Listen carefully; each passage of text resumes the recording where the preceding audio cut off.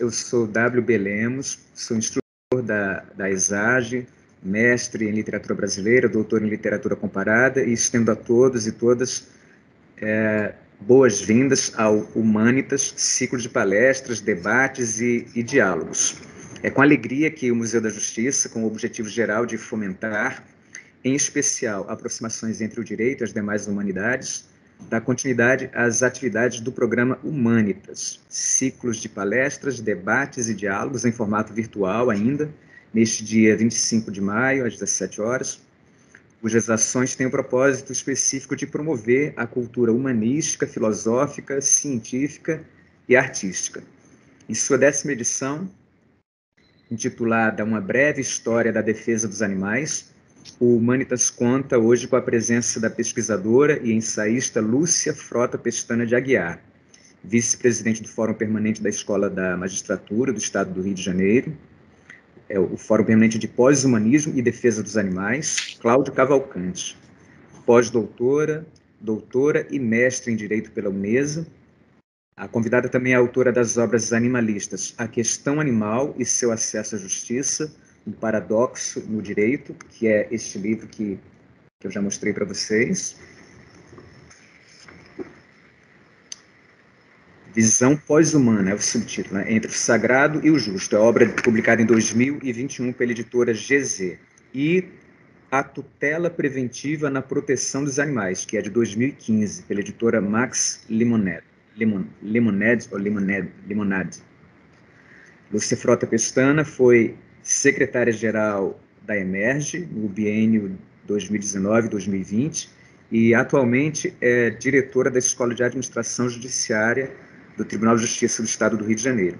É também membro da Law and Society Association desde 2016 e professora da Universidade Estácio de Sá desde 2000, e da ESAGE e da EMERGE.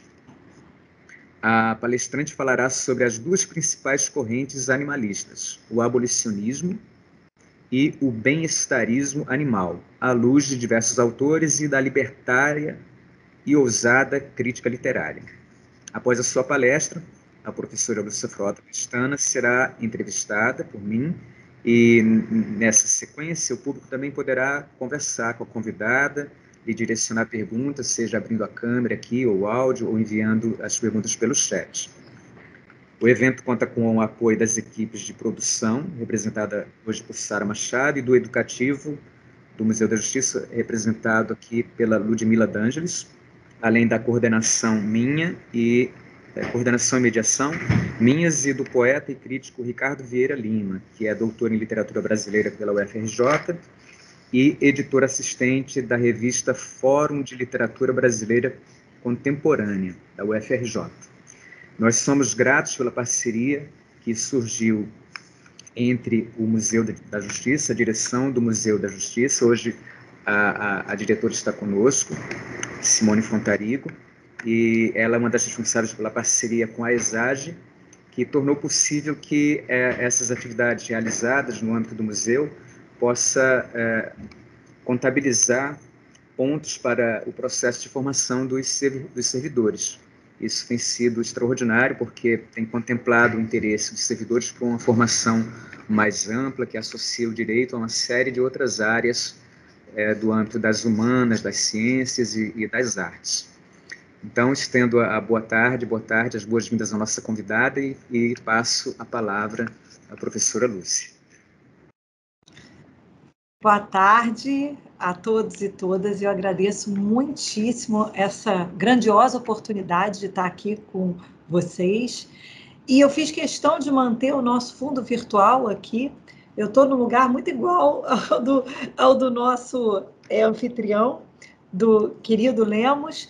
Eu tenho também uma porta aqui desse belíssimo prédio, porque nós somos vizinhos aqui atrás de mim, mas estou com o fundo virtual da ESAGE com muito orgulho, porque esse fundo virtual foi elaborado agora na nossa gestão, com minha total é, meu total envolvimento, inclusive na parte gráfica, para a gente poder inventar né, uma nova identidade visual para a ESAGE e reposicionar a escola do, da administração judiciária em prol dos servidores. E eu mantive esse fundo justamente para manter a nossa parceria. Quando o anfitrião é, me definiu, ele esqueceu de colocar voluntária do museu, com muito orgulho, que hoje então eu estou selando esse meu voluntariado, né? Que desde a nossa primeira reunião, em que a gente estava tentando justamente pontuar né, essas atividades, que são atividades extremamente culturais do museu, eu já imediatamente me coloquei como uma pretensa voluntária. E hoje, então, eu estou debutando no museu, com muito orgulho e assim eu faço para falar de um tema que é a minha missão de vida. E realmente eu estou aqui com muita alegria, com muita satisfação e tenho certeza que vai ser uma oportunidade grandiosa para a gente tocar alguns corações, né? Se a gente tocar um coração, a gente já está conseguindo modificar o mundo. Peço desculpas à nossa audiência pelo uso desses óculos que estão sendo necessários. Eu estou aqui com uma lesão de esforço repetitivo visual. É uma conjuntivite alérgica, mas que me. É, o uso excessivo de telas tem me agredido muito é, a, a, parte visual, mas eu acho que também outros fatores, outros alergenos, e eu, se tiro o óculos, eu, sem parar para pensar, eu coço o olho e está piorando, que eu já estou com uma bolinha aqui, tô com todos os, os é, atendimentos é, médicos é, ideais para isso, não é infecto contagioso, é apenas alérgico, por isso que eu estou aqui trabalhando, mas de qualquer forma é um impedimento de eu ficar mais à vontade. Então peço desculpas pelos óculos, mas eu não poderia deixar de fazer a palestra, deixar de aproveitar essa oportunidade só por causa desse pequeno impedimento. Na verdade, eu acabei de sair de uma palestra agora é, que fala exatamente sobre isso, que é da nova divisão de acessibilidade e inclusão do Tribunal de Justiça. E a, a diretora, a presidente, né, desembargadora Regina Lúcia Passos, ela acabou de falar uma coisa que eu até anotei, né, pra, porque, na verdade, é como eu penso também. Somos todos pessoas com deficiência em potencial. Nós todos temos é, uma, um, uma falibilidade né, como seres humanos que nos é atávica e também uma, uma fragilidade diante da vida, né? uma vulnerabilidade diante da vida. E nessa medida, qualquer coisa pode nos tirar um pouco do prumo, mas a gente tem que permanecer firme, não pode deixar que isso nos, nos impeça de fazer coisas que a gente realmente acredita que são importantes. Então, é isso que eu estou fazendo nesse momento para começar a conversar com todos vocês e já é, Peço a vocês um pouquinho de tolerância, porque eu vou explicar alguns conceitos que são importantes para a gente poder travar aqui um debate culto à altura do museu e à altura do nosso anfitrião. Então, algumas coisas a gente vai falar de uma forma mais técnica, mais jurídica, mas eu vou tentar é, passar de uma forma amena por todos os termos que são muito herméticos. E aí, quando a gente fala em termos herméticos, a gente vai lá para Hermes Trimegista e a gente já pensa que pode fazer um outro evento no museu falando sobre as leis herméticas. Enfim, muita coisa vem aí boa pela frente. Mas, então, vamos lá. O que, que é o pensamento animalista? Porque eu vou voltar aqui um pouquinho. Olha o título, né? Que o, o evento tem: Uma breve história da defesa dos animais. Essa, uma breve história da defesa dos animais, é, reporta a breve história da humanidade, né? que, na verdade, é, foi escrito recentemente pelo Yuval Noah Harari, que é um historiador, um historiador judeu-palestino, que nasceu no mesmo dia do meu aniversário e no mesmo dia do aniversário do precursor da defesa animal no Brasil, que eu vou trazer para vocês, dia 24 de fevereiro. Então, é, essa, essa obra né, dele, Uma Breve História da Humanidade, deixou de fora os animais, de certa forma, mas ele toca em vários pontos que são assim triviais, inclusive eu usei no meu doutorado, porque ele fala de pontos que é, tangenciam outros pensadores. Então, basta um estudo mais crítico que a gente chega lá. E aí, então, nossa conversa começa com uma breve história da defesa dos animais. Agora, para a gente falar sobre a defesa dos animais, a gente tem que falar sobre as correntes animalistas, que são duas correntes que, na verdade, se bicam o tempo todo e os animais continuam sem a devida proteção. Então, quando a gente fala sobre o pensamento animalista, a gente fala sobre o abolicionismo e o bem-estarismo, né? É, essas duas correntes, o abolicionismo e o bem-estarismo, começaram na década de 70, mas enquanto elas começaram academicamente, a gente tinha uma expectativa de que a gente ia poder, enfim, defender os animais. Mas já passou-se aí muito tempo, desde a década de 70, praticamente 50 anos, né, já se passaram, e a gente continua com os animais na berlinda, sem a devida defesa. Então, é claro que eu farei uma crítica ao abolicionismo e ao bem-estarismo, com certeza, tá? É, na verdade, a crítica nem é o abolicionismo, não. A crítica é a, a interpretação apenas acadêmica de um tema que é tão importante para a nossa sociedade. O abolicionismo, a gente vai falar e vocês vão. Eu também quero ouvir a postura de vocês a respeito disso. Bom, o que, que é o pensamento animalista, né? É, faço quatro perguntas aqui. Direito ambiental é o mesmo que direito animal ou do animal? Direito dos animais existe? Direito animalista, afinal, o que é? Tá? Então, o que é o pensamento animalista? Hoje eu poderia dizer para vocês que o pensamento animalista ele abrange todas as correntes que colocam o animal numa posição de protagonismo. Seja uma corrente é, bem-estarista, uma corrente abolicionista, uma neo-welfare, que é uma nova corrente de bem-estar animal, ou qualquer outra que porventura ainda venha a surgir.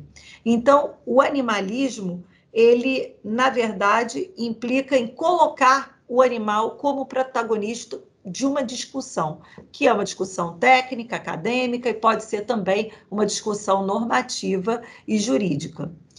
Direito ambiental é o mesmo que direito animal ou do animal? Claro que não. O direito ambiental, ele é mais abrangente e ele é tão abrangente que ele abrange a fauna e a flora dentro do meio ambiente ecologicamente equilibrado, como consta na nossa Constituição Federal, no artigo 225.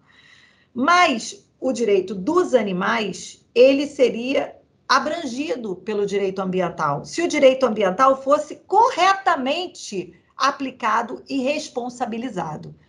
Entretanto, o direito ambiental criou uma faceta um pouco comercial demais. Criou-se uh, taxas, valores exorbitantes para danos ambientais. Eu não estou desfazendo de nenhuma questão ambiental, mas o professor Fábio Oliveira e o professor Daniel Lourenço têm uma, um artigo publicado que eu gosto muito, que eles falam é, sobre os ambientalistas, sobre o direito ambiental, eles falam heróis da natureza e inimigos dos animais. O que, que eles estão querendo dizer com isso? Que o direito ambiental rompeu com a defesa animal. O direito ambiental vira as costas para o direito animal, para o direito do animal, para o, o, a preocupação com o sofrimento animal. Então, hoje, a gente tem que tratar separadamente porque eles não fizeram, na verdade, na defesa do ambientalismo, eles não olharam corretamente para o animalismo mas seria sim um gênero do qual é espécie o direito do animal ou direito animal. Direito dos animais existe hoje pela Constituição Federal, pelo nosso Código Civil, a gente não teria como falar em direitos dos animais. A gente ainda está engatinhando em direitos humanos, em direitos do homem. Então, os direitos dos não humanos ainda são uma meta para a gente alcançar. É claro que eu quero chegar lá, é claro que todos os animalistas querem chegar lá, mas existe hoje na lei positivada? Bom, eu faço uma interpretação, uma interpretação ampliativa e crítica do artigo 225 e eu coloco eu, Lúcia, desde a minha obra A Tutela Preventiva na Proteção dos Animais, eu coloco o animal como um microbem ambiental inserido no macrobem ambiental. Então eu foi a minha dissertação de mestrado, eu fundamento, eu explicito, eu coloco, mas tecnicamente isso não está tão claro assim. Então, você atribuir ao animal um direito vai ficar um pouco na contramão do que tem o Código Civil, porque o Código Civil ainda não tipifica o animal como detentor de direitos. Eu quero chegar lá? Quero. Mas eu sou uma profissional da área jurídica, eu sou professora de processo civil há 21 anos. Eu não posso esquecer toda a temática que me faz ambientar as minhas aulas. Então, eu tenho que falar tecnicamente para vocês que a gente ainda está em baby steps, passinhos de bebê, para a gente conseguir chegar até lá.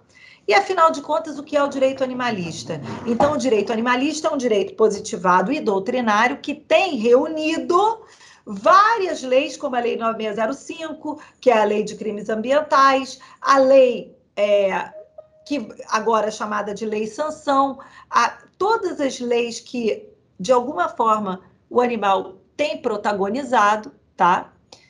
Na verdade, é, elas são reunidas naquilo que nós chamamos de direito animalista. Mas isso não é um código, não é um compêndio, nós estamos construindo. E o maior defensor aqui nós temos é Cláudio Cavalcante, que ainda no início da defesa é, legislativa que ele fez a favor dos animais, ele deu essa declaração. Tenho a certeza de que a defesa dos direitos dos animais será a política do terceiro milênio.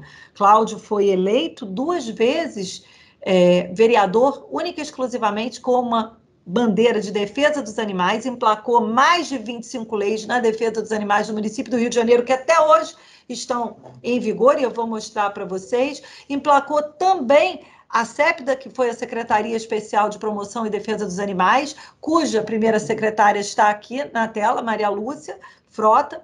Eu estou falando nada mais, nada menos, tenho que identificar, não posso ignorar, do meu padrasto, Cláudio Cavalcante, que na verdade era um pai para mim, e da minha mãe, que foi a idealizadora de tudo isso e uma, uma expoente cultural de humanidade inigualável, porque ela é psicóloga, ela é psicanalista, ela é uma literata, professora de latim, grego, e sem sem cultura, ela não teria como reunir tantos argumentos para convencer o Poder Executivo a criar uma Secretaria Especial de Defesa dos Animais.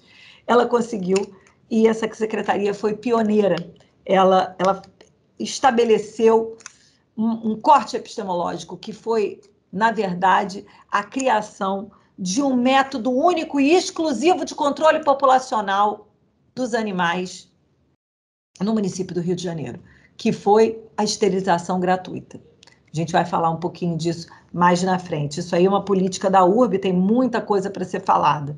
Mas, enfim, no Legislativo, Cláudio Cavalcante, depois ele foi eleito deputado também, mas acabou não é, assumindo, ele continuou o mandato dele na Câmara, esse é um outro assunto né, longo, mas, na verdade, as leis dele foram precursoras, ele emprestou toda a força dele, a imagem dele como grande ícone da teledramaturgia e da dramaturgia brasileira, ele emprestou para defender os animais, assim como Brigitte Bardot o fez na época dela também.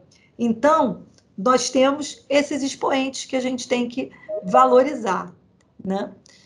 E aí vem a questão animal, né? O tema da, é, do, desse meu livro, que fruto da minha tese de doutorado, que na verdade foi um trabalho de quatro anos, que não são quatro anos, aí é, a gente escreve e, e, termina uma defesa de algo que vem sendo esculpido durante a nossa existência, né?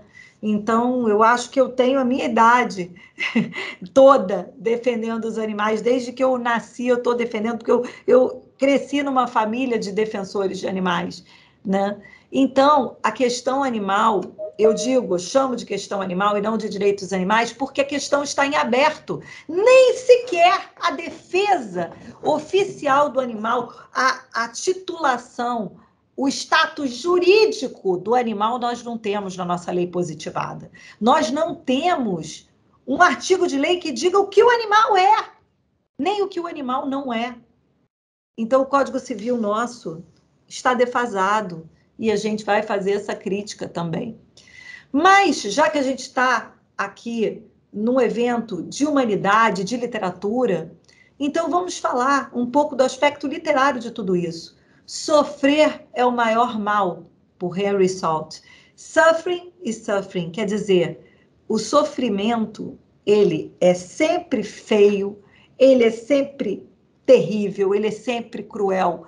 Nada justifica um sofrimento gratuito, tá?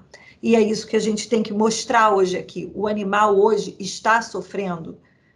Existe um livro que diz que para os animais o mundo é uma eterna treblinka, é um eterno campo de concentração especialmente para os animais da, das factory farms, os animais de produção, os animais que estão em cadeia de produção nas fazendas, na indústria de laticínios, na indústria agropecuária, né?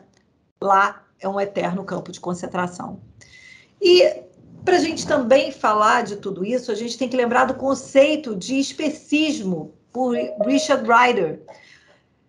Richard Ryder uh, é um psicólogo inglês que, na década de 70, ele construiu, e ele conta mesmo num artigo que foi tomando banho, que ele é, construiu essa, essa expressão, especi, o especismo propriamente dito. Né? Ele construiu a partir de outros tipos de preconceito, como racismo, como sexismo. Ele teve o um insight para dizer: peraí, quando eu não reconheço um membro de outra espécie como um igual, quando eu não reconheço o sofrimento de um animal, eu estou sendo especista. Ok? E aí, Richard Ryder é muito valorizado e muito trabalhado tecnicamente pelo direito animalista. Nós temos também a teoria dos direitos dos animais, de Tom Reagan, Tom Reagan tem uma história incrível, porque ele era açougueiro. Ele foi açougueiro e, num determinado momento da vida dele, ele entendeu o sofrimento dos animais, rompeu com tudo aquilo, se transformou em vegetariano, vegano, defensor e criador, junto com o movimento abolicionista, da, da aversão a qualquer tipo de uso do animal para benefício do ser humano. Olha como ele rompeu, como ele deu um salto quântico, né? Então, Tom Reagan é um dos grandes expoentes do direito animalista. E a esquizofrenia moral da humanidade, conceituada por Gary Francione, que, na verdade, é um ativista também dos direitos dos animais, que ele faz críticas como aquela história, né, que alguns defensores defendem, que é você ter a vaca e, do fim ao cabo, você vai lá, mata a vaca e come a vaca. Então, como é que é isso? Ter a vaca e comê-la. Ele faz umas críticas, ele coloca como é que é onde fica a relação de afeto. Ele diz que o ser humano, na verdade, é um eterno esquizofrênico moral em relação aos animais. E aí é dentro disso tudo que surge os movimentos de bem-estarismo e abolicionismo. E para a gente situar a polêmica, a gente tem que mostrar a polêmica do paradoxo que a gente tem no direito brasileiro. Então, eu estou situando com vários toques aqui é, doutrinários. Sei que eu não vou exaurir o tema, estou fazendo um sobrevoo, porque isso é um tema muito rico e que abre várias sidetracks, várias outras, é, outras é, é searas do saber que mereceriam um aprofundamento maior. E temos também a visão utilitarista do, do New Welfare, ou Novo Bem-Estar Animal, que é trazido por Peter Singer. Mas Peter Singer é curiosíssimo, porque, na verdade, ele é um expoente super bem aceito nas faculdades de filosofia. Ele trouxe filosoficamente Jeremy Bentham para um patamar em que os jovens co começam a gostar da questão né, é, da, de, de discutir toda é, a questão animal, mas ele, na verdade, é um bem-estarista, ele não é um abolicionista, ele admite o uso do animal para certas coisas e ele fecha muito com a indústria farmacêutica. Então, Peter Singer é curioso porque ele tem um, um carisma fantástico, a gente não pode simplesmente ignorá-lo, mas a gente tem que fazer a hermenêutica filosófica, né? A gente tem que fazer a leitura crítica do Peter Singer. Bom, aí introduzimos aqui a questão do animal pela lei civil brasileira. Onde é que está o animal na lei civil brasileira? Bom, no Código Civil, nós temos dois livros dentro do Código Civil: o livro de pessoas e o livro de bens. E aí vocês podem perguntar: em qual desses dois livros está o animal? Pois bem, em nenhum deles. Ele não é pessoa, não é bem tecnicamente, mas se a gente for ter que capitular, a gente vai entrar, já que ele não é pessoa, porque a personalidade do homem dá-se com o nascimento com vida né? E na maioridade ele alcança a possibilidade de se autogerenciar, né? E o nascituro tem expectativa de direito. Bom, a gente vai estudar a lei e a gente não consegue achar o animal no livro das pessoas. Quando a gente vai estudar os bens, os bens imateriais, a propriedade intelectual, a gente consegue dar uma forçada e colocar os animais lá. Como bens, o quê? Como é que se posiciona a doutrina? como bens semoventes. A doutrina fala que o animal é um bem que se move por ele próprio. Então, o animal é um bem do dono, do dono, que agora a gente tecnicamente não chama mais de dono, né? A gente chama de tutor, mas ele pode se mover por moto próprio. Então, o animal é coisa. O animal, pela lei civil, é coisa, gente. E o animal sem dono? O que, que é o animal sem dono? Ah, então o animal sem dono já que ele é coisa, porque ele tem dono. Se ele não tiver coisa, ele é uma. Se ele não tiver dono, ele é uma não coisa. Ele é um não ser. Ele é um não ser, uma não coisa. Como assim? O animal sem dono é res nullius, quer dizer, coisa de ninguém. Só rindo, né, gente? É uma tristeza que a nossa lei civil ainda esteja tão atrasada porque é claro que o animal, claro, óbvio que o animal sente, que o animal sofre, o animal tem luto, saudade, dor, amor, afeto, solidariedade, fraternidade. Perfeito. Então, o animal, ele, ele, ele tem afeto. Olha essa imagem, gente. Um passarinho com um gatinho, ele tem afeto. Ele, ele sente, ele sofre ele luta pelos seus semelhantes, né? Não tem mais como se ignorar a ideia descartiana de Descartes, cartesiana, perdão, poderia ser descartiana também, mas é cartesiana que a gente chama, de René Descartes, de que o animal é uma. O, o grito do animal é a mesma coisa que uma máquina rangendo por falta de óleo, uma máquina não oleada, isso está completamente superado pela ciência. A ciência já provou que o animal sente, sofre, que o animal desenvolve laços de afeto com o seu tutor, com humanos ou não humanos. Então, isso a gente não pode mais ignorar. Nós já estamos no momento da nossa civilização que certas coisas não são mais aceitáveis, né? Então, já vi que já entrou mais gente aí, né? Sim, Graças nós temos, é, Lúcia, nós estamos com mais de 300 pessoas nos acompanhando estamos na audiência. corações, né? Então, que maravilha! Sim. Muitas manifestações de afeto aqui, em harmonia com, com, a sua fala. Muito falas. obrigada, só posso agradecer. Então, eu vou pegar é, desse gancho, né, de onde a gente estava falando, que, nós, na verdade, a nossa lei brasileira está muito atrasada é, no que tange a ciência animal. Ou seja, vou repetir algo que é muito importante: o pensamento de René Descartes, que foi um pensamento que direcionou muito a humanidade, já que a gente está aqui no Humanitas, né, a pensar que os animais não eram capazes de sentir, ele já está completamente defasado. Não se fala mais em René Descartes e no cogito logo sou para excluir os animais. Não se fala mais nessa questão de que o animal é, ao gritar, ao emitir uh, um grito de horror, de pavor, de sofrimento, ele se equipara a um relógio mal olhado, que, é sem óleo, que era o que Descartes falava. Não existe mais isso. Então, a ciência animal está comprovada, está comprovada tecnicamente pela ciência, pela ciência daqueles que estudam o comportamento dos animais, né? Então, pelas ciências biológicas, biomédicas, pela ecologia, pela cinecologia. Então, não há mais que se falar que os animais não sentem dor, afeto, luto, sofrimento, saudade, paz, harmonia conforto, aconchego, tudo isso os animais sentem assim como nós, porque eles são seres que vivem, né?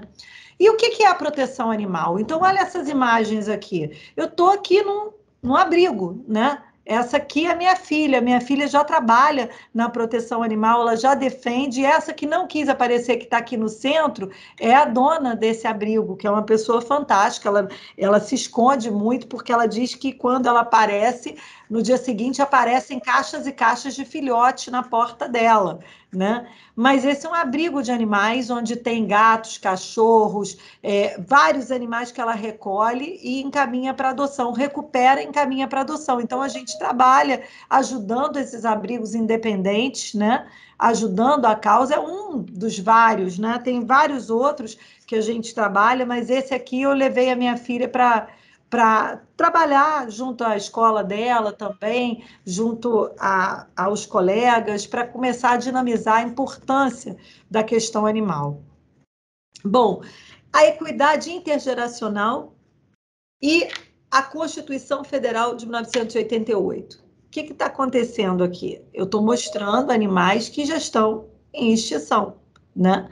Eu estou mostrando para vocês que a equidade intergeracional é a nossa Constituição datada de 1988, garantindo como direito fundamental das futuras gerações a conservação da natureza, com toda a sua fauna e sua flora.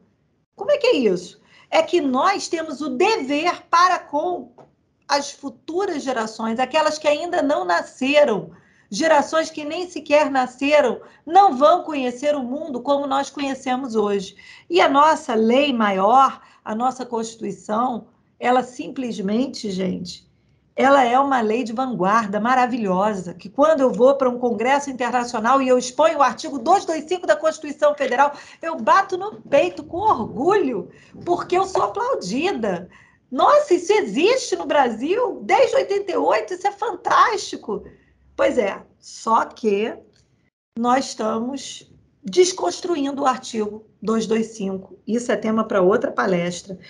Mas a gente tem muito a que falar a respeito de trabalhos que têm sido feitos até com ativismo judicial para desconstruir o artigo 225. Né? O artigo 225 com ativismo legislativo e ativismo judicial, por conseguinte, também, desavisadamente, veio a descaracterizar toda a roupagem que o constituinte originário deu. Então, na verdade, foi criado um novo conceito de crueldade com a emenda constitucional 96 de 2017, se excluiu daquele daquele patamar de total proteção ambiental se excluiu animais, por exemplo, que são usados no entretenimento. Ah, vaquejada pode, rodeio pode. Enfim, e muitos outros temas para a gente discutir futuramente. Mas eu quero alertar todos vocês que nós já estamos vivendo a sexta extinção em massa.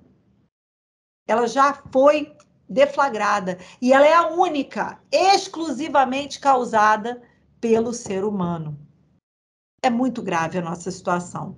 Bom, para e passo a isso, mais uma vez, o paradoxo. Paradoxo. Por isso que eu botei o título da minha obra, Um Paradoxo no Direito. A questão animal, seu acesso à justiça, é um paradoxo no direito. Olha o paradoxo. Eu tenho aí uma tutora de 73 anos, que tinha um animal há 23 anos. Esse animal foi retirado dela por uma denúncia de um vizinho. Aí veio um agente ambiental, tirou, a tutora quase teve uma um infarto, teve problemas sérios de saúde, o animal também. Isso chegou ao ponto do STJ, ministro Og Fernandes, no acórdão belíssimo, precursor, reconhecer a dignidade animal, que é também chamada de dignidade ecológica. Incrível, né? O STJ reconhece os direitos e a dignidade de um papagaio em uma decisão judicial. Isso parece que não está em consonância com todo o resto. Não está em consonância, gente. Não está de acordo com tudo que a lei civil fala. Não está de acordo com é, a própria lei ambiental. Está quem? A nossa lei está quem? O STJ correu atrás e conseguiu ad, admitir a dignidade ecológica. Conseguiu admitir. Mas isso tem que ser pulverizado por toda a nossa lei. Né? Então, o que, que eu chamo a atenção para vocês? Na verdade, a importância de toda a formação jurídica é, dos colaboradores do Poder Judiciário, dos servidores, a importância dos assessores de órgão julgador, dos magistrados, dos assessores de magistrados, né? que cada vez mais tem que saber como fundamentar tecnicamente, com base na lei, mas também com base na doutrina, a dignidade ecológica. Lembrando que existe esse paradoxo mas existe já uma decisão precursora. Tema que a gente pode trabalhar tecnicamente muitíssimo.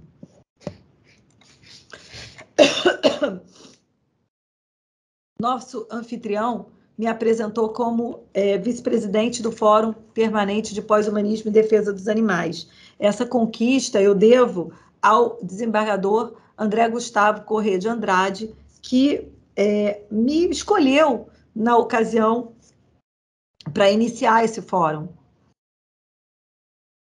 para presidir o fórum. Então, na verdade, quando ele iniciou e nos cinco primeiros eventos do fórum, eu, eu era presidente do Fórum de Pós-Humanismo e Defesa dos Animais, a quem o desembargador André Gustavo Corrêa de Andrade, então diretor-geral da Emerge, é, nomeou de é, fórum permanente de pós-humanismo e defesa dos animais, Cláudio Cavalcante, eternizando a figura de Cláudio Cavalcante, que foi realmente um grande expoente nosso no município do Rio de Janeiro, e a quem eu devo a minha total gratitude, gratitude, gratidão, né? É, por essa grande oportunidade de poder desenvolver um locus privilegiado de debates na Escola da Magistratura. Agora, quem preside o Fórum Desembargador é, Cláudio Brandão, mas ele continua me permitindo é, é, gerenciá-lo como, como vice-presidente, na verdade, por toda a especialização que eu, que eu tenho desenvolvido na área, e, e eu fico realmente muito engrandecida, muito honrada e e algo que eu pretendo dar continuidade com todas as minhas forças como uma missão de vida. Eu sou egressa da Emerge, eu fui formada pela Emerge né, na, no ano de 2000 e eu já saí das salas da Emerge para ministrar palestras e aulas. Durante toda a minha formação eu já fazia isso, fazia no fórum da, da desembargadora saudosa Maria Inês Gaspar, queridíssima, no Fórum de Direito Ambiental, e também no Fórum de Processo Civil, por eu lecionar processo civil, eu conseguia falar tecnicamente da tutela preventiva na proteção dos animais e falava é, ali com o desembargador é, Jorge Magalhães, então presidente do Fórum de Processo Civil. A respeito da compaixão, a questão animal, ela, ela impulsiona um, a nossa fraternidade maior em relação a a compaixão. O teólogo cristão Humphrey Primat foi o autor de uma dissertação sobre o dever de compaixão e o pecado da crueldade contra animais brutos. Obra onde reconhece em sua tese central que, para além da aparência exterior ou da biologia do animal humano e não humano, há interesses comuns a todas as espécies animais que a ética não pode discriminar. E assim sendo, o sofrimento é o parâmetro máximo para ser considerado moralmente. Nenhum animal quer sofrer podem ter certeza disso. Nenhum animal quer a dor. E isso que Humphrey Primat, The Duty of Mercy, ele, ele coloca isso de uma forma fantástica. a respeito da aversão ao sofrimento, né? Então, é algo que a gente precisa reposicionar na nossa humanidade.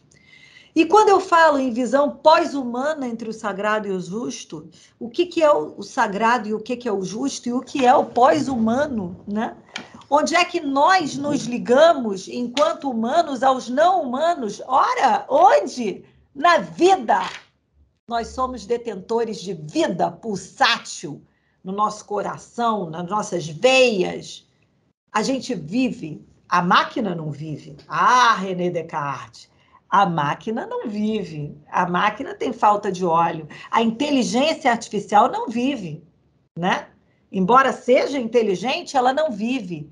Agora, a vida, a vida tem a centelha divina.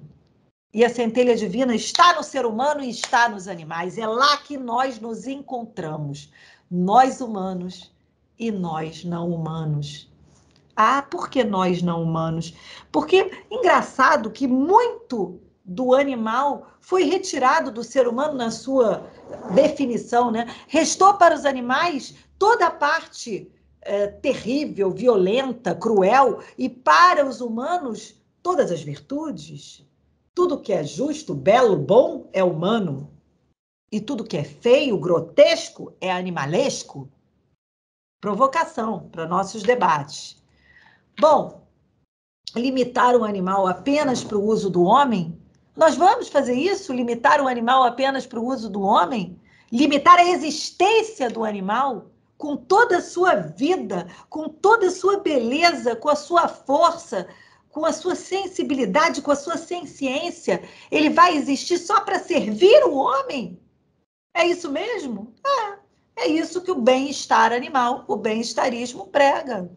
Ele diz: não, vamos fazer o seguinte: a gente até entende que o animal sente, mas vamos reduzir, reduce, refine, replace a gente reduz o uso de animais em experiências, a gente refina, a gente reposiciona, mas vamos continuar usando, tá? Não, não vamos continuar a usar, não, se a gente souber exatamente o que, que a gente está causando para nós mesmos e para o planeta. Ainda no meu livro, eu trabalho os animais sobre o olhar religioso entre a liberdade e o equívoco. Isso aí é tema também para uma outra discussão porque a gente tem que falar sobre conceito de liberdade, a liberdade limitada pela alteridade de Emmanuel Levinas, o sacrifício e a culpa arquetípica diante da ética da compaixão por Freud, por Theodor Adorno e por Arthur Schopenhauer. Tantos expoentes, pensadores, filósofos, grandes gênios da humanidade defenderam os animais. Cadê agora a nossa lei defendendo? A gente tem que lembrar a lei que nós temos expoentes humanos na defesa dos animais. E aí vem os paradoxos, mais uma vez, sacrifícios com animais na ótica constitucional brasileira. Ora lá, vamos lá. Eu já tinha ido para fora do Brasil, para o México, para Nova Orleans, para Portugal, para defender que a lei brasileira, no artigo 225, impedia o sacrifício com animais. Eu já tinha feito isso, eu já tinha sido aplaudida no exterior, eu já tinha tido, é, na verdade, tinha feito amizades com professores que, com os quais eu trabalho até hoje, portugueses, porque lá em Portugal, embora Portugal tenha até um partido político em defesa dos animais, que é só para defesa dos animais, Portugal tinha uma lei, tem uma lei complementar que autoriza no seu artigo 26, regulamenta o sacrifício religioso e diz que é possível a prática do sacrifício religioso. Então, quando eu expus a nossa Constituição Federal, eu fui super aplaudida. Nossa, Brasil, Brasil, maravilha. Aí veio o Supremo Tribunal Federal e resolveu autorizar o sacrifício religioso.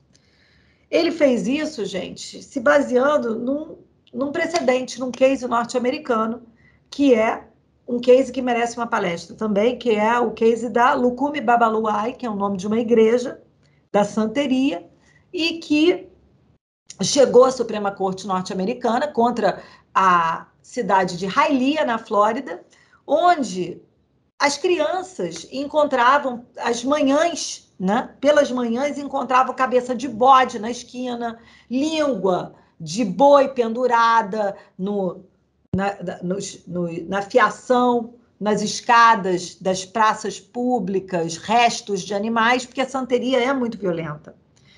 A santeria é uma, uma religião de origem é, africanista, mas eu queria dizer que os sacrifícios é, de animais não são peculiaridade das religiões africanas. É, nós temos o sacrifício de animais na religião judaica, o abate kosher, o abate halal na, na religião muçulmana. Então, é preciso se olhar de uma forma macro, com macrovisão. E o Supremo não teve essa macrovisão. Ele criou uma questão identitária ligada à religião africana, entendeu que aquilo ali era racismo e foi lá e autorizou. Autorizou uma coisa que o Constituinte originário não autoriza, gente. O Constituinte que criou a lei originária mais alta do país não autoriza, mas aí uma tese do Supremo autorizou. A gente pode depois debater essa tese futuramente, porque é tema para grandes debates, porque dá para a gente discutir, inclusive, a laicidade estatal, que o nosso Estado é laico. Então, como é que é agora, de repente, proteger uma religião em detrimento das outras? Então, muita discussão é necessária a respeito desse tema. Outro tema que vai tangenciar a questão do bem-estarismo e do abolicionismo é o abandono. Porque os animais, os pets, eles estão aí, né? Na, na, nas casas, eles, eles numericamente, eles são, é, é, é, vamos dizer assim, mais numerosos até do que os humanos, né? E no Brasil. E temos cães e gatos num número abissal, mas o abandono também não deixa de ser aí cada vez mais volumoso. Eu fiz uma palestra sobre o abandono, e o abandono é crime, é, para o DEAP, né? E se for interessante, a gente faz aqui também uma outra abordagem, né? O DEAP é o Departamento de Sustentabilidade do, do Tribunal, e eu faço uma outra abordagem aqui humana, né? Para a gente trabalhar futuramente, porque é uma questão também que leva a vários é, outros conceitos que vão abranger uma reflexão crítica maior. Mas essa imagem terrível que vocês estão vendo na tela, das patas decepadas do cão Pitbull, da raça Pitbull Sansão, originou a Lei Sanção, que é a Lei 14.064 de 2020, que aumentou a pena de maus tratos para cães e gatos, e o crime passou a ser punido com reclusão de cinco, de 2 a 5 anos, multa e proibição da guarda. Ok, é bom que a gente tem um aumento da punição, mas é ruim que a gente restrinja a crueldade a cães e gatos. Então, essa discussão é muito longa. Os animais sob o olhar da ciência, entre a cura e a fraude, é outro capítulo do meu livro. Cada capítulo daria aí uma discussão muito forte, né?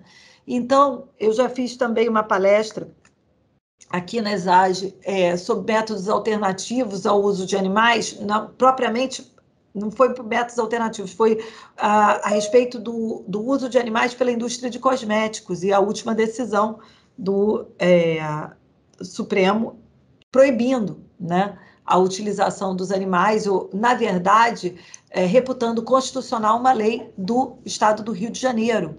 Então, esse tema nós conseguimos vencer, muito embora em outros estados ela se permaneça sendo uma realidade.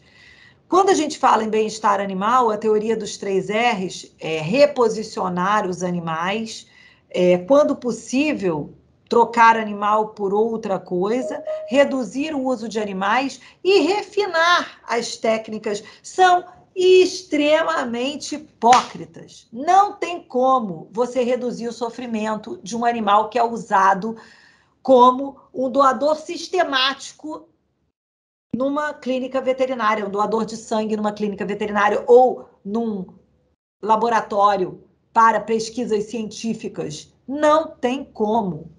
Não tem como fazer experiência indolor com todos aqueles métodos terríveis, tá? Então, isso realmente é hipócrita, sem contar que a gente tem que lembrar que as biologias são diferentes. Então, essa ideia de vou testar no animal e depois eu testo no humano, vamos continuar na estaca zero, porque os primeiros humanos serão sempre cobaias. As biologias são diversas. Está aí a talidomida para provar isso. Né? A talidomida foi largamente, largamente testada em animais sem problema algum.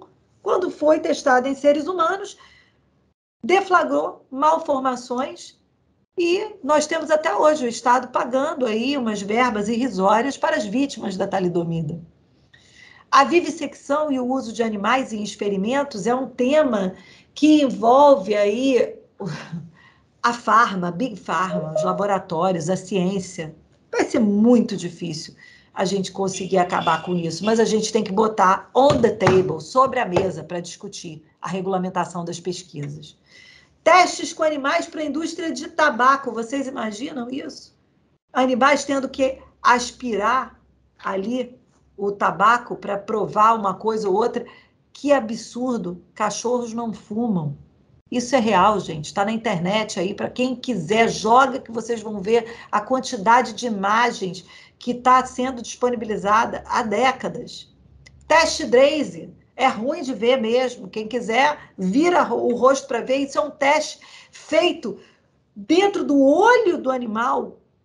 Tá? Esse animal, claro que vai ser abatido depois, vai ser sacrificado, mas isso é um teste cosmético. É um teste para saber se aquele olho do animal aguenta o sabonete, aguenta o shampoo. Então, gente, é crueldade atrás de crueldade. Sem milhões de animais são mortos diariamente, todos os dias nos laboratórios. Eles são criados para morrer, eles são comercializados, criados e comercializados apenas para a morte. É isso, gente. Isso não é, não é irreal, não. Vocês que não sabem apenas não sabiam. Apenas não sabiam, isso é real. E aí, outro outro capítulo do meu livro fala dos animais das alimentações, na, na, alimentação humana, né? entre a tradição e o vegetarianismo. Eu vou falar sobre carnismo e o ato de comer carne, né? em abrangência filosófica, um tema que também daria uma palestra. A carne no mercado e a contaminação da carne, isso aí pega para todo mundo, para carnívoros, para onívoros, quem gosta de bicho, quem não gosta de bicho. Ninguém quer comer uma carne contaminada. Aliás, ninguém quer comer nada contaminado. Mas convido a todos a assistirem um documentário que não fala de animal especificamente, não fala sobre a contaminação. O veneno está na mesa. Fala de agrotóxicos. Instituto Nina Rosa está aí disponível online. Basta você entrar. O veneno está na mesa, você vai conseguir assistir. Mas já que eu falei de um documentário, deixa eu falar de outro totalmente pró-animais, que é Terráqueos com a narração do Joaquim Fênix. É, o texto no original é Earthlings, Terráqueos. Ah, gente, esse daí é dureza de assistir. Esse é só sobre a crueldade animal. Mas vocês não vão ser os mesmos depois de assistir, porque vocês não vão ter como negar que vocês viram, né? Bom, transporte de animais vivos, prática comercial de violência animal, violação das normas brasileiras de bem-estar animal, de bem-estar animal e transporte de animais, porque a gente não autorizava mais o transporte de animais vivos é, para exportação, e agora nós tivemos um precedente para a Turquia. O abate halal e o abate kosher, então esses animais, na verdade, foram é, encaminhados vivos numa viagem extremamente excruciante para eles, uma viagem em que eles morriam uns sobre os outros, e o, o, o, navio virava e eles ficavam sobre as fezes um dos, uns dos outros, uma coisa horrorosa, mas para chegar ao seu desiderato, os que chegarem vivos vão ser abatidos no sistema do abate halal e kosher. Nós temos que é, evitar que isso aconteça. Desculpa, gente, espero que a assessoria puxe aqui. Temos que evitar que isso aconteça. A gente tem que trazer informação para as pessoas. Lembra que eu falei que para os animais de produção, os animais que vivem em factory farms, em, em fazendas de produção, eles vivem num eterno campo de concentração. É uma eterna treblinca. Esses animais não veem a luz do dia, né? Muitas vezes, as... vocês já ouviram falar em carne de vitela, né? A vitela, na verdade, é, é, é separada da sua mãe com meses de vida, às vezes com dias de vida, nem meses, meses, que nada, dias de vida, para a carne ficar mais macia. Quem come vitela tem uma culpa a mais nisso. Qualquer abate animal é terrível. Eu não posso aceitar, né? Então eu falo. Outro dia eu fiz uma, uma palestra aqui que um. Vou falar que eu acho que não tem nenhum problema. Um servidor fez uma observação dizendo que eu estava fazendo apologia ao vegetarianismo. Eu só soube depois. Se eu tivesse sabido durante a palestra, eu teria dito: olha, eu tenho uma palestra sobre vegetarianismo. Não era aquela, não, mas eu tenho. E, sem sombra de dúvida, onde eu puder falar bem de uma dieta que é, se desprenda do consumo animal, eu falarei. Mas eu não, não, sou radical em nada. Eu sou radical nas minhas crenças, mas eu convivo com pessoas que é, acreditam que estão fazendo a coisa certa. Eu só peço que todo mundo se instrua, que todos nós saibamos o que, que a gente está fazendo para o planeta. E aí, se você quiser continuar fazendo, tudo bem. É responsabilidade compartilhada. Manter os animais em cativeiro é caro demais para o planeta. Eu tenho números, relatórios em que eu posso mostrar verdades inconvenientes mesmo, mas muito mais inconvenientes do que aquelas do Al Gore, né? Mas eu não vou trazer isso aqui para vocês, que ficaria muito enfadonho, mas fica também para uma nova oportunidade sobre a sexta extinção em massa, sobre o uso da água no planeta, em pastos. Os números são avassaladores. Então, eu só resumo da seguinte forma: sabe aquela história da segunda-feira sem carne? Faz diferença. Um dia faz diferença na vida do planeta, na vida da humanidade. Olha só esse elemento aqui. É, observe, humanos, 25%. Animais de fazenda, 75%. Nos Estados Unidos e na Europa, mais de 75% dos antibióticos são usados na agricultura, não na medicina para humanos. Dá para pensar a respeito disso? Os antibióticos são usados para os animais que estão nas fazendas, para que eles sirvam de comida para os humanos, enquanto os humanos têm 25% de uso de antibiótico.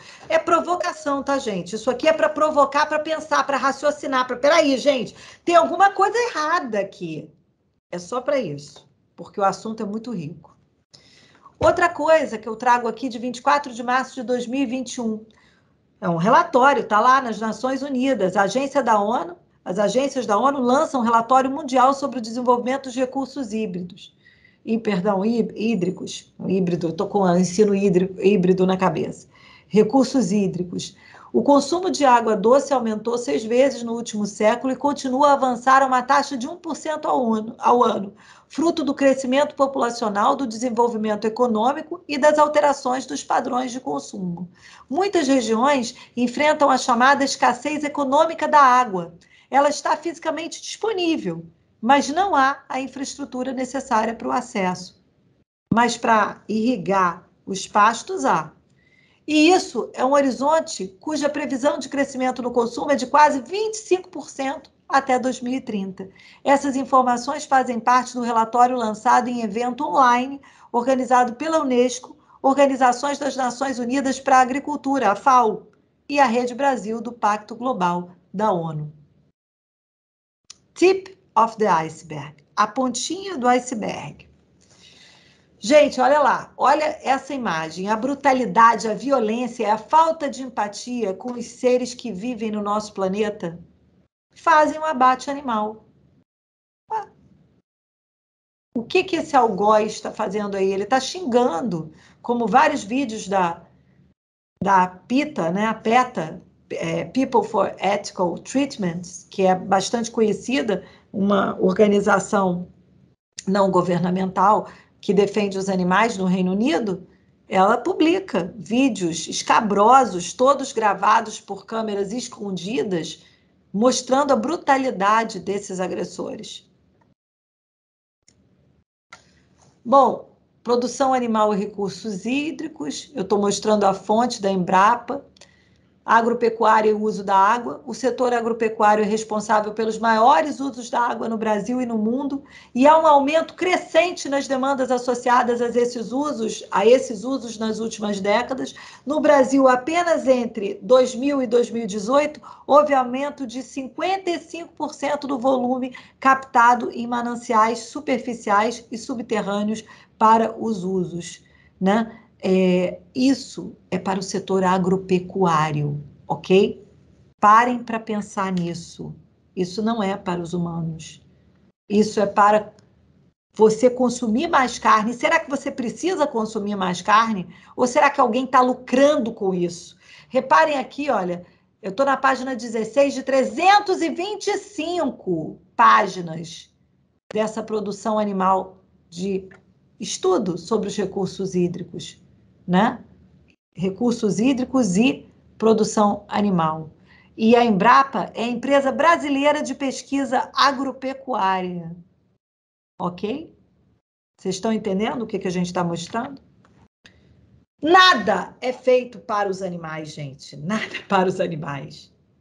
A sexta extinção em massa já está acontecendo e ela pode ser a ameaça ambiental mais séria para a continuidade da vida humana e não humana no planeta Terra. Sabe por quê?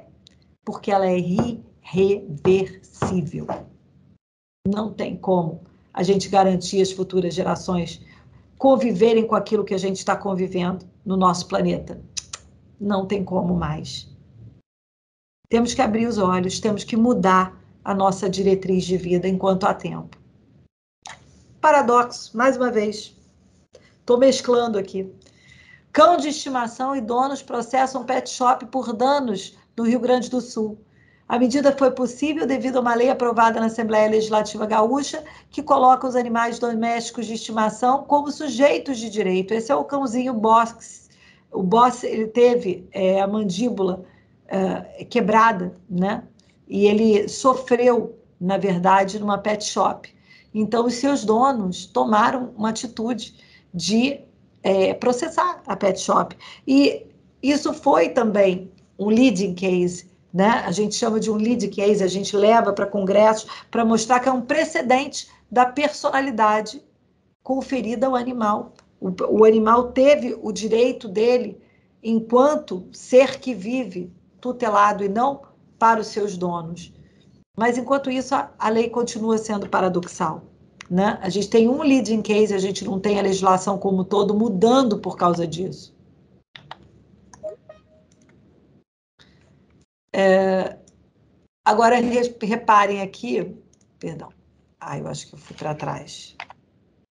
É, 2001, havia poder público pelos animais? Sim, havia Secretaria Especial de Promoção e Defesa dos Animais. Ela é, foi campeã em número de esterilização gratuitas é, nos minicentros cirúrgicos de esterilização gratuita. Essa era a secretária, a idealizadora, Maria Lúcia Frota, minha mãe, com muito orgulho, mas que ela também não aguentou o peso da, do, do resto da é, dificuldade de enquadrar e capitular tudo de crueldade que era feito contra os animais naqueles quatro anos que ela esteve em frente da CEPDA, mas foi simplesmente a precursora disso para o Brasil inteiro. Ela ficou durante quatro anos. Ela realmente trabalhou de uma forma hercúlea durante quatro anos, mas depois dos quatro anos, a CEPDA sofreu desvios, ela foi substituída, é, outros valores foram colocados naquele balaio, vamos dizer assim, e o próprio programa Bicho Rio foi desvirtuado. Hoje existe ainda uma secretaria. É, outro dia, uma, uma assessora dessa secretaria me procurou querendo participar de debates animalistas. Uma jovem moça, claramente bem intencionada, claramente entusiasmada com a causa animal, mas, infelizmente, eu acredito que ela não saiba é, a origem de muitas modificações que foram criadas em desfavor dos animais desde 2001 para cá. A política da URB foi descredenciada por completo. E se há uma coisa que a gente precisa para que a gente tenha a nossa sanidade, é de uma URB sem zoonoses. Alguém já ouviu falar em zoonose agora? Já, por causa do coronavírus, né? Mas zoonose, gente, significa que se eu tiver animais circulando nas ruas, sem o devido poder público fazer o que a Constituição Federal manda, nós temos vetores de zoonoses. E era assim que o poder público via o animal até 2001, apenas como um vetor de zoonoses. Tanto é que Maria Lúcia ela conseguiu fazer um convênio com a Conlurb para resolver alguns casos. Era Conlurb, porque o animal, ela, ela, ela falava isso, expressão dela. Né? Ela está viva, minha mãe, graças a Deus, ela fala isso, né? O lixo vivo das cidades. O animal urbano excedente é tratado como lixo vivo das cidades. Ela tem publicações falando, conceituando assim. Qual é a defesa é, do animal, o que é a defesa animal. É, a diferença. Gente, eu queria chamar a atenção primeiramente para a diferença entre defesa e proteção, né? É, na verdade, é, muito se falou que proteção, que a proteção animal não seria propriamente correta, que proteção estaria ligada ao bem-estar animal e não a defesa que estaria ligada ao abolicionismo. Mas eu vejo da seguinte forma: isso são firulas, sabe? A gente se pega em firulas que não ajudam em nada, não ajudam absolutamente em nada a realmente tirar os animais da forca, tirar os animais do sofrimento, dessa vala constante de sofrimento. Esse casal defendia e protegia, recolhia animal nas ruas e protegia. Bom, Cláudio, infelizmente, faleceu, nos deixou em 2013, mas a minha mãe ainda está viva, ainda está recolhendo animais, ainda está ajudando, ainda está fazendo. Só que o que, que um particular consegue fazer se o poder público não fizer a sua parte? A gente não consegue muita coisa. A gente precisa fazer em conjunto. Há diferença entre ativismo e ciência? Há. O ativismo vai para a rua, o ativismo recolhe, o ativismo bota a mão na massa, o ativismo se envolve diretamente e não tem tempo para construir, por exemplo, uma tese, né, como essa. É claro que eu não poderia estar nos dois lugares ao mesmo tempo. Eu peço desculpas a todos os ativistas, que alguém tinha que fazer a tese, alguém tem que defender. Então, assim, cada um escolhe aquilo que pode construir de melhor. E eu achei que eu podia construir melhor tecnicamente usando as minhas aptidões de professora, de acadêmica, tocando os corações, porque a minha parte emocional também não aguenta certas coisas, sabe? A gente fica bombardeado. Tem pessoas que têm é, tabique, como diz o, o autor é, de Grande Sertão Veredas, né? É, tabique fino e tabique grosso. Tem gente que tem tabique grosso, eu tenho tabique fino e aí eu sofro muito.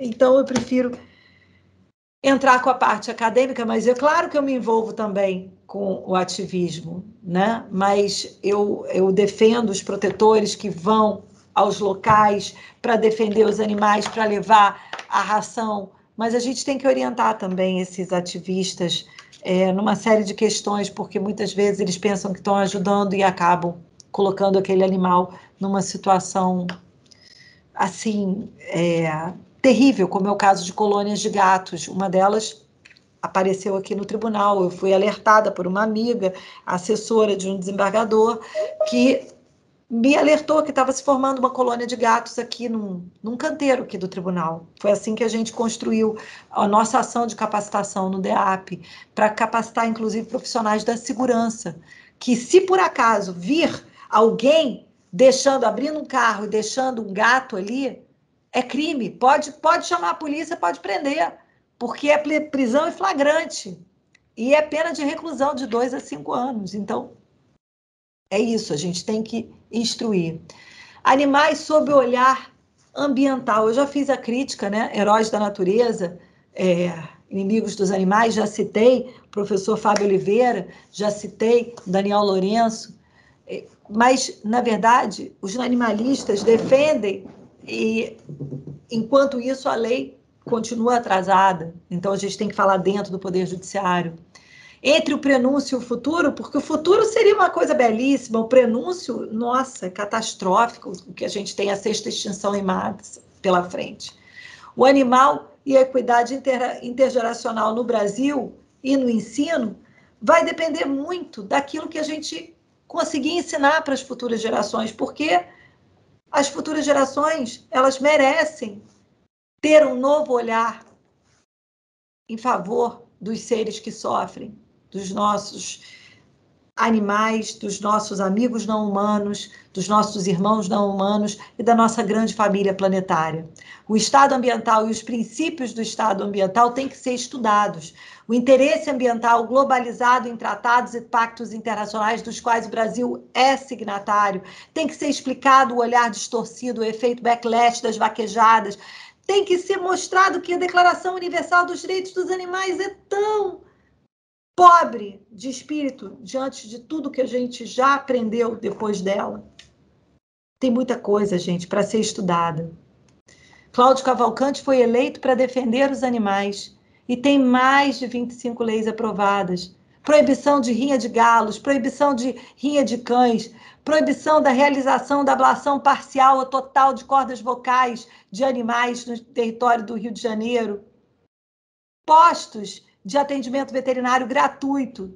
Está lá, está em vigor, a lei existe. Agora o executivo tem que cumprir. Né? O executivo tem muita coisa para cumprir. É, essa aqui era minha filha, olha só, gente. Ela tinha aqui, eu acho que que, eu já não me lembro mais qual, qual foi dessa, se ela tinha três, quatro anos por aí, né? E ela já foi criada dentro da defesa dos animais. Vocês viram outra foto dela com agora 17 anos. Né? Então, é, a Lei 3402 dispõe sobre a proibição de utilização ou exibição de animais silvestres, nativos ou exóticos, domésticos ou domesticados em circos ou espetáculos congêneres. Não temos circos com animais no município do Rio de Janeiro, sabia? Conquista de Cláudio Cavalcante. Ele deu sangue para provar essa lei, foi difícil. E eu, modéstia à parte, construí a parte toda é, jurídica da lei, dessas leis, né? Na verdade, Cláudia e, e a minha mãe não são da área jurídica, então, para passar na Comissão de Constituição e Justiça, era eu que estava lá, né? Altera dispositivos da lei, em 3.402 eh, de maio de 2002, a Lei 3.444, sobre a proibição e utilização e exibição de animais silvestres, nativos ou exóticos, domésticos ou domesticados em circos e espetáculos. A Lei 3628 proíbe a realização de ablação parcial ou total das cordas vocais dos animais. É, nós temos a 3739 de 2004, caracterizando a esterilização gratuita de animais felinos e equinos, é muito importante a gente proteger também os cavalos, como função de saúde pública, e institui sua prática como método oficial de controle populacional de zoonoses, proibindo o extermínio sistemático de animais urbanos. Gente, eu, eu trouxe esse, esse cartazinho de 2007, que foi a primeira palestra que eu ministrei no fórum no, do, do, na, da 66 reunião do Fórum de Direito Ambiental da saudosa desembargadora Maria Colares, em 2007, né? Então, eu já estava aqui, é, 2007 eu já, já tinha a minha, a meu título de mestre em Direito pela tutela preventiva da proteção aos animais, que, na verdade, eu ganhei em, 2000, em janeiro de 2005, terminei em 2004, ganhei em janeiro de 2005, e já estava palestrando em vários organismos, né, é, de defesa, até na OAB, na OAB também eu já fiz uma palestra antes disso, então muito jovem eu já estava batalhando, né, e aí, olha só, cria o registro destinado ao controle da venda de animais de estimação nos estabelecimentos comerciais, essa lei está em vigor até hoje, a lei que proíbe a permanência e manutenção de animais doadores de sangue em clínicas veterinárias está em vigor até hoje. A lei que dispõe sobre animal comunitário. Gente, isso foi uma palestra linda que eu dei na escola da magistratura depois. Gostaria muito de reproduzir, vou reproduzir agora, né? A, a, a luz de novas leis, como é a lei sanção. Enfim, essas leis estão em vigor, existem e nós precisamos conhecer para poder exigir do poder público que as cumpra. A Lei 3845 de 2004 dispõe sobre a proibição de rinha de cães no município do Rio de Janeiro. Vocês sabem que é proibido no município do Rio, então vai lá para outro município, né? Pertinho, mas no município do Rio de Janeiro você não pode. proíbe também a realização de rodeios, touradas ou eventos similares no município do Rio de Janeiro. Não tem rodeio aqui, já repararam? Cláudio Cavalcante. Mas não foi fácil, não, gente. Isso foi muito difícil. Ele sofreu muito, ele sofreu muita retaliação, ele foi muito ridicularizado, chamavam ele de charlatão, sabe? Sofreu muito, muito, muito para defender os animais. Então, esse legado, eu acho que eu tenho que trazer, eu tenho que esclarecer a todos que eu puder que não é fácil defender os animais. Se você quiser dar a sua cara a tapa, você vai sofrer muito. Mas vale a pena. Paradoxo entre o sagrado e o justo. O que é sagrado? O que é justo, gente? Sagrado fazer um sacrifício com animal? Será que é? Será que é sagrado isso? Será que os deuses querem isso? Olha essa figura aqui desse animal com essa máscara, gente. Gente, a gente está acabando com o planeta, né? Cadê a alteridade no reencontro? A gente tem que falar muito sobre isso.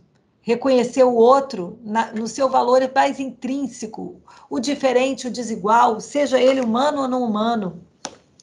E Jacques Derrida, o animal autobiográfico, ele pega e, e ele brinca com o cogito logo sou do, do Descartes, né? E diz: o animal que logo eu sou, eu sou o animal ao olhar para um gato. Ele diz: Quem é esse gato que me olha nu? Será que ele está vendo as minhas imperfeições? Eu estou nu e o animal está nu diante de mim? Mas eu nu fico envergonhado e o animal, será que ele vê essa sutileza ou não? E ele me olha tão profundamente? Quem é o gato que me olha nu? Gente, muita humanidade nisso, muita discussão literária. A visão pós-humana é justamente reconhecer a vulnerabilidade diante da vida. Nada justifica a tortura. Uma das falas brilhantes de Cláudio Cavalcante. Nada justifica a tortura. E o que foi a CEPDA em 2001? Ah, a CEPDA foi um marco divisório, foi um divisor de águas, foi um corte epistemológico na defesa do animal, porque criou o método único de esterilização gratuita para controlar a população de animais abandonados na urbe. Outro dia, desembargador, não vou dizer o nome, um desembargador me ligou muito gentil, falando de um caso, né? É, de um cachorro que tinha um cachorro abandonado que tinha mordido uma pessoa e perguntando o que, que eu achava disso e ele dizendo eu quero condenar o Estado. Eu falei, desembargador, é uma questão filosófica, é, é profundíssimo isso. Porque, na verdade, ao condenar o Estado, o senhor vai estar quase empurrando o executivo para limar os animais todos das ruas e para instituir a carrocinha de novo. É isso. Se a gente conseguiu, em 2001, emplacar uma esterilização gratuita como método único de controle populacional, cuidado, Poder Judiciário, pelo amor de Deus, cuidado, cuidado, assessores de magistrados, cuidado, desembargadores, ao fim e ao cabo, querendo ajudar, que a, a intenção era boa. Vocês podem chegar a praticar a eugenia liberal de Habermas, que ele tanto condenava, ele falava nisso.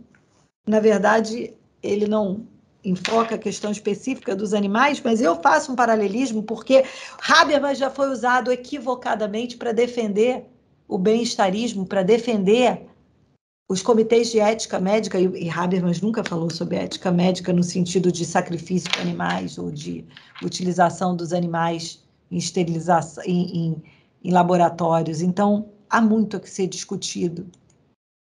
Gente, nada justifica a tortura.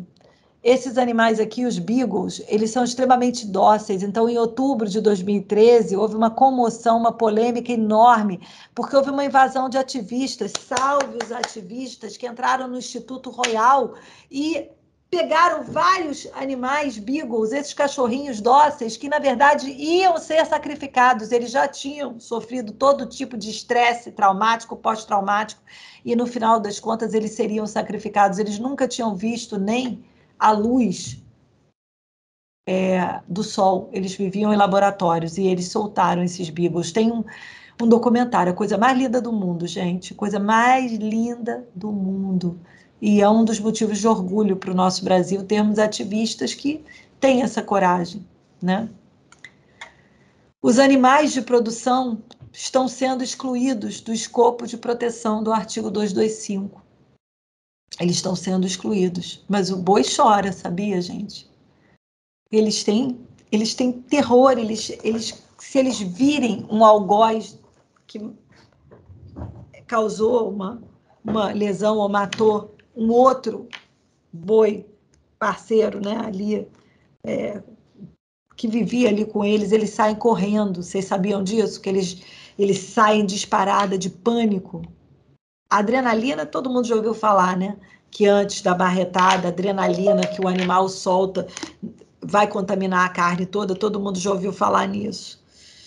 Mas o, o grave é que o artigo 225, na sua origem, o constituinte originário, ele previa a amplitude total da fauna e da flora, mas foi introduzido um parágrafo sétimo no artigo 225, que criou um conceito novo de crueldade e está, na verdade, re, reescrevendo a Constituição de uma forma equivocada.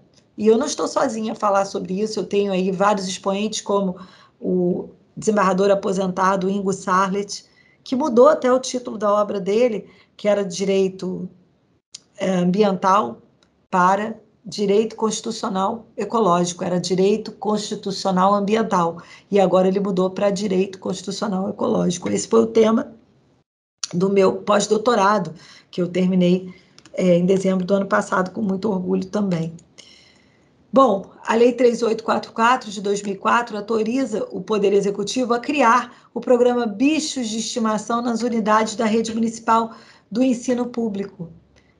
É, esse é, programa ele visa a formar as futuras gerações já com o cuidado para com o animal, já conhecendo o respeito ao animal e as leis que existem para defender os animais.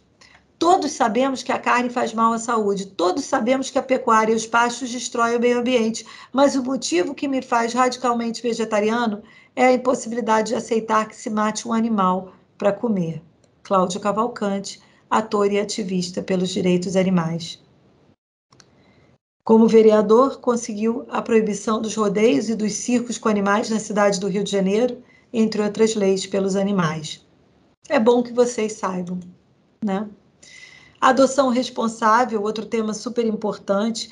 Esse gatinho aqui é, foi ganhou, foi batizado com o nome de seu Jorge, porque era o nome, é o nome do zelador da escola, da magistratura, e se vocês olharem bem, eu estou aqui no Paulo Ventura, numa, numa palestra que eu ministrei lá, e, e a equipe lá da Emerge encontrou esse gatinho, né? Acho até que, é, na verdade, várias pessoas que são muito queridas minhas, como a Josi, Josimere, a a Ju, a Juliana, a própria Gabriela Simes, encontraram esse gatinho e é, a gente promoveu, foi bem na época da palestra, a gente promoveu, na época, a adoção dele pela Suípa. A Bebel da Suípa esteve comigo na palestra e promoveu a adoção do seu Jorge.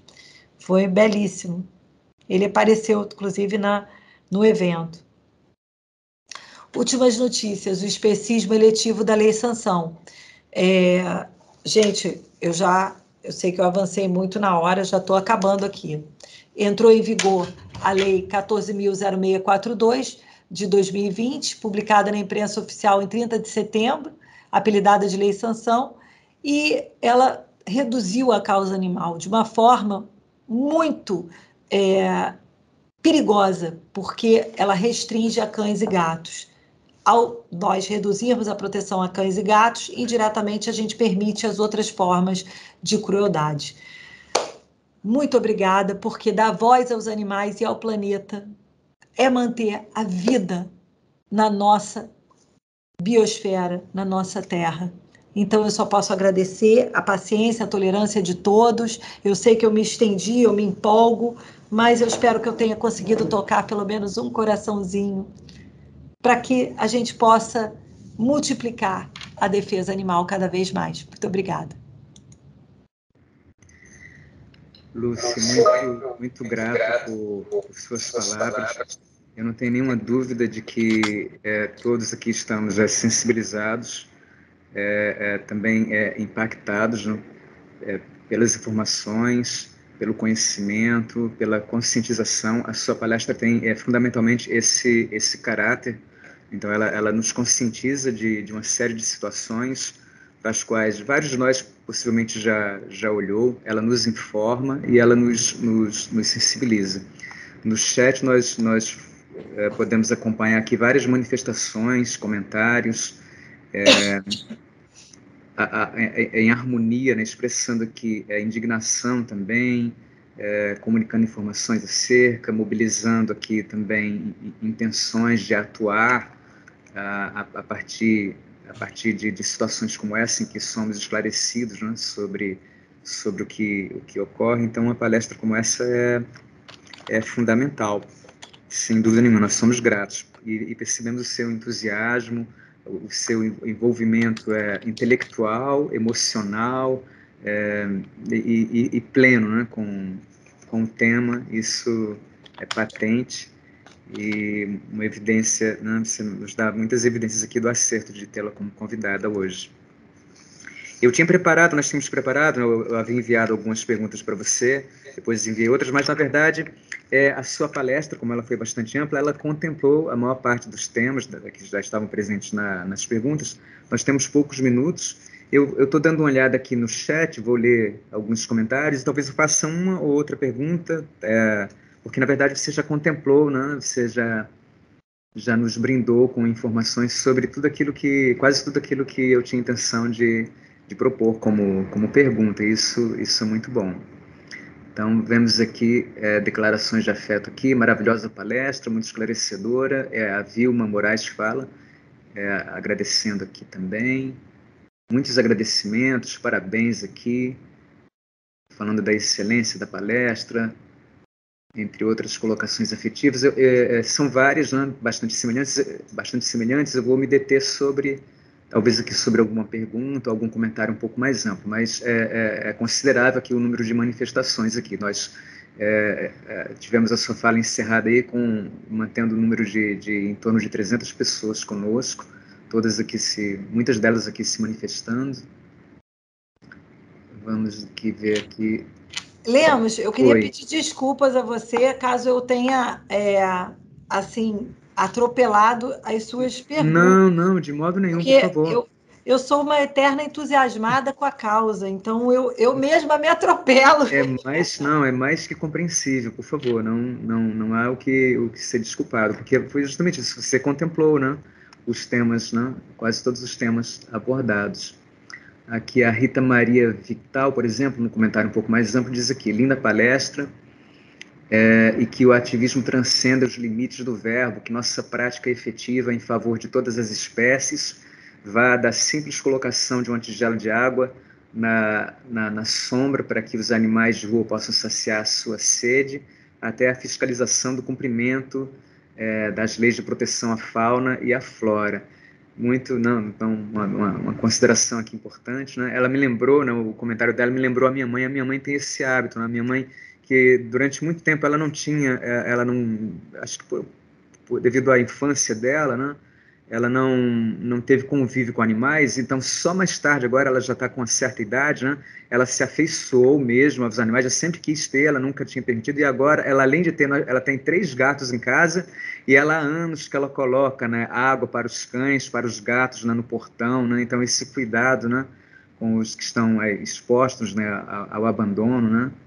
que seja né, essa, essa sugestão aqui da Rita, da Rita Márcia, que seja uma sugestão, uma prática né, para para aqueles que puderem né, desempenhá-la, né, os que moram em, em, casas, né, por exemplo. Né. Deixa eu ver mais algum outro comentário aqui, mais...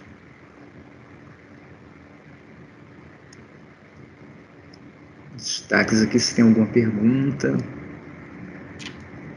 Porque eu estou dando, dando uma olhada nos comentários, porque às vezes tem uma pergunta e eu prefiro é, priorizar as perguntas da, da audiência. Mas é isso, são várias manifestações aqui de apoio, fraternais, né, harmônicas com que com os temas uh, que você nos apresentou. É, nós temos poucos minutos, eu vou, antes de ler, reler aquela declaração que vai ao encontro de tudo que foi dito, eu vou fazer uma, uma única pergunta, é, é, acho que você não, talvez não tenha tocado, acho que eu, que eu me lembro pelo menos nesse, nesse ponto, né? Talvez você possa nos dar um esclarecimento breve né, sobre esse, o conceito de antropoceno. Você falou sobre a sexta é, extinção em massa, você falou sobre o fato dela estar sendo né, é aquela exclusivamente provocada pela ação humana, e acho que isso tem uma relação com a ideia de antropoceno, não? Perfeito, muito, muito boa pergunta, Lemos, e muito bem colocada. Na verdade, o antropoceno é uma era geológica. Nós já entramos na era do antropoceno. Então, o problema não é a gente ter entrado no antropoceno, o problema é que a gente entrou mal pra caramba. A gente entrou assim, destruindo tudo. É a sexta extinção em massa. Então, na verdade, as eras geológicas elas acontecem independentemente da ação humana, mas o ser humano está contribuindo para efeitos muito nocivos. Tem situações, o próprio aquecimento global, ele acontece independentemente da ação humana, mas o ser humano está contribuindo de uma forma muito nociva. Então a questão é toda essa. Na verdade, é, a conscientização é o passo inicial para que a gente entenda que quando se fala em antropoceno, a gente não está falando em algo que está longe, a gente está falando em algo que nós já estamos vivenciando. E nós estamos vivenciando um, uma parte do, do, do fim daquilo que nós propiciamos. Então, a gente tem que evitar o quanto antes que isso progrida. Sim, sim. É, nós já estamos próximos de finalizar. Eu vou fazer uma, uma, uma, outra breve consideração aqui ao encontro de tudo que você disse, e aí você pode é, é, comentar essa, essa, essa, minha, né, essa minha observação, que é a seguinte: você, no, no decorrer da sua palestra, você aponta para é, inúmeros paradoxos né, é, legislativos relacionados à ética, justiça, direito, né, a, a, digamos assim, é, certas, certas é, dicotomias entre sagra, o sagrado e o justo, entre, entre, outros, entre outros pares né, de, de dicotomias. E um deles que eu gostaria de destacar, né, ao pesquisar sobre o tema, né, e, e eu, eu, venho lendo, me interessado muito por, por esse assunto né, nos últimos tempos, então eu, eu descobri eh, recentemente que, por exemplo, a, a, a cultura judaica, né, a matriz de, sag, de sagrado judaica, é só mais recentemente, acho que, se não me engano, agora só é, em 2016 é que retomou a prática de sacrifícios de animais, que havia sido interrompida né, há, há, há milênios, né, dois milênios praticamente, né, com a destruição do, do, do, do, templo, a destruição de, de, de, Jerusalém, a destruição do segundo templo, né? Então, é, era, um, é, era um povo que praticava né, a, a, o sacrifício, né, com uma simbologia é, e, e, vendo o, os animais sacrificados como sagrados também, mas é, era, é, uma, é uma cultura, né, é, é uma matriz de sagrado, digamos assim, melhor dizendo, né, que desde os seus primórdios na, na Torá se preocupava com o descanso dos animais. Lá na Torá, no, na, nos primeiros livros, nos, nos, livros da, da, da, das escrituras é, sagrada judaica já está lá a preocupação com o descanso dos animais, não só do, descanso humano.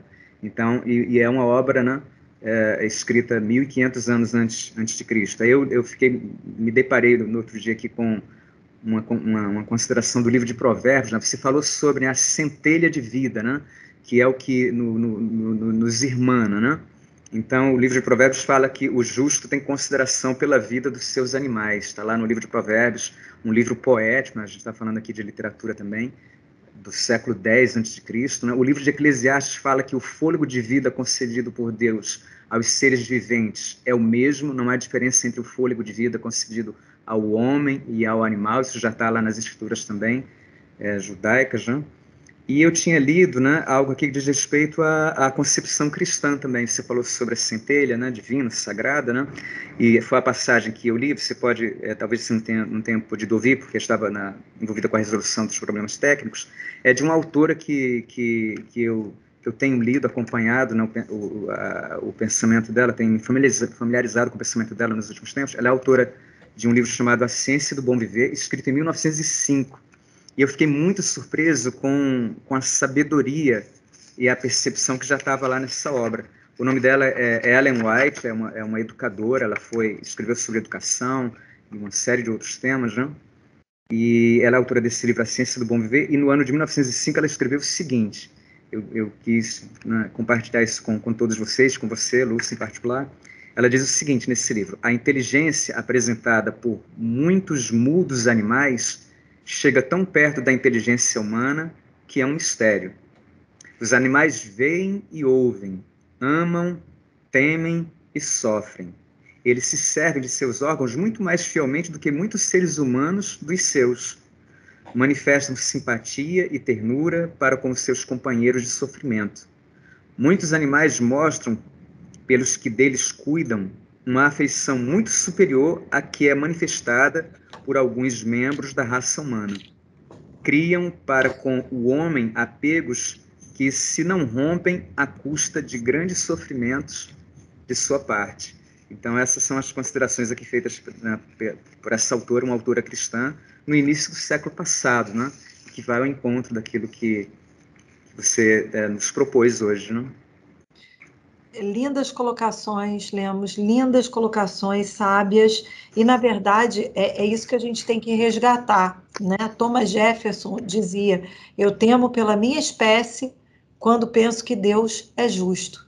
Então a gente tem que resgatar esses grandes expoentes, pensadores, que já defendiam os animais outrora. Então, quer dizer, a gente não está começando agora, a gente só está construindo mais uma etapa da nossa evolução. Porque o ser humano tem que, tem que evoluir, gente. A gente está aqui, diz a filosofia, a gente está aqui para evoluir, não é para outra coisa.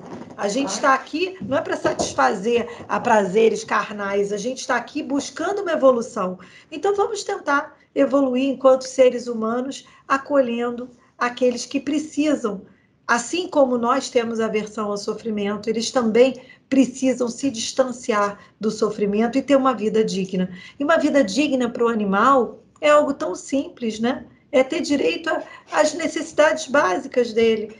Enfim, eu convido a todos a um pensamento mais reflexivo de como pode ser feito assim um, um olhar, né? Eu falo sempre isso, um, um olhar modificado em relação ao desigual, aquele que não é humano vamos tentar olhar para ele como se fosse um parceiro nosso, né?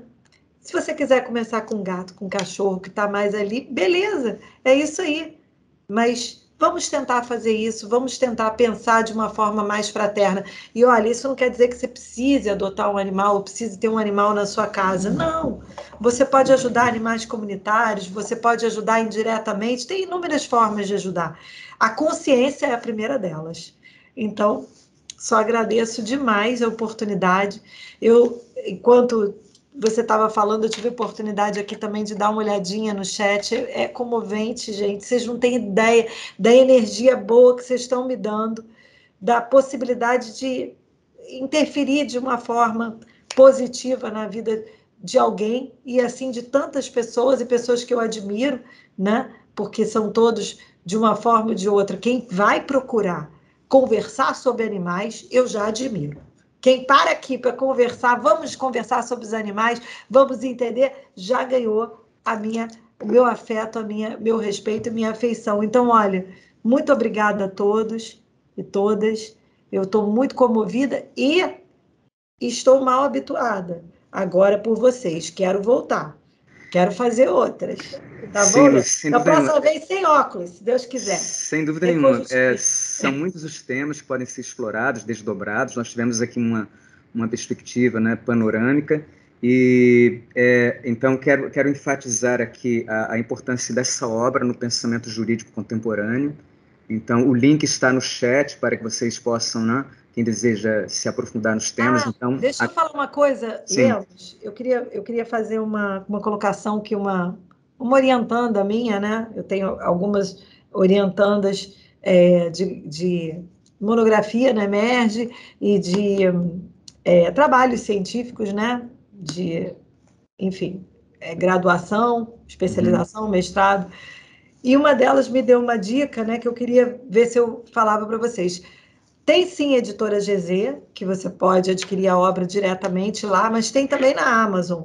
Agora, a Amazon tem uma peculiaridade. Quem adquire tem condição de fazer depois uma avaliação. E essa avaliação, se você fizer uma avaliação positiva, aquela obra já tem, já começa a ter assim uma maior aceitação, já começa a ah, aparecer ah, mais destaque, sim.